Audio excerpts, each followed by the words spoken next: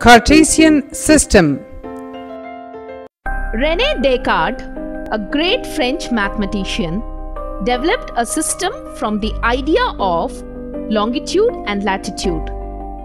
This system is used for describing the position of a point in a plane known as Cartesian system. Cartesian system. Children, do you remember number line?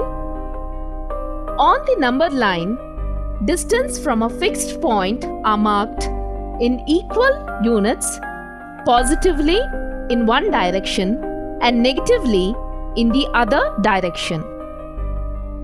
Rene Descartes invented the idea of placing two such lines perpendicular to each other such that the two lines cross each other at their origins.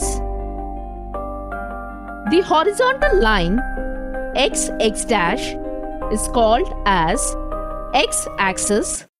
The vertical line y y dash is called as y axis.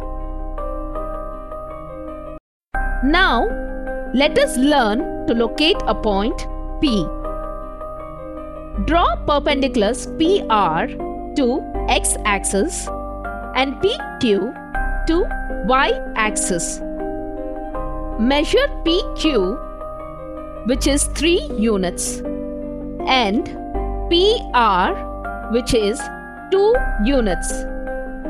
So, the ordered pair for point P will be PQ PR which is 3 comma 2. Children always remember that first x coordinate should come then the y coordinate.